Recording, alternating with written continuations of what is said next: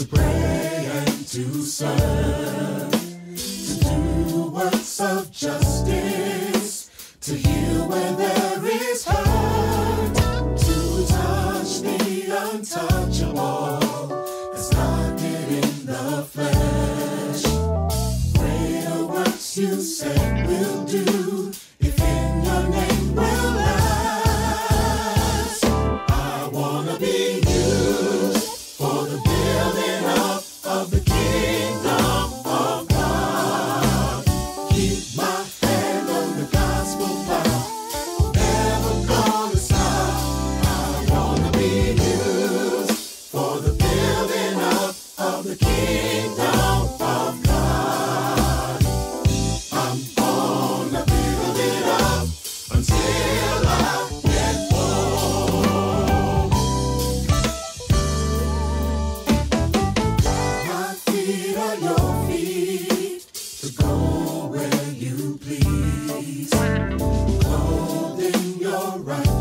righteousness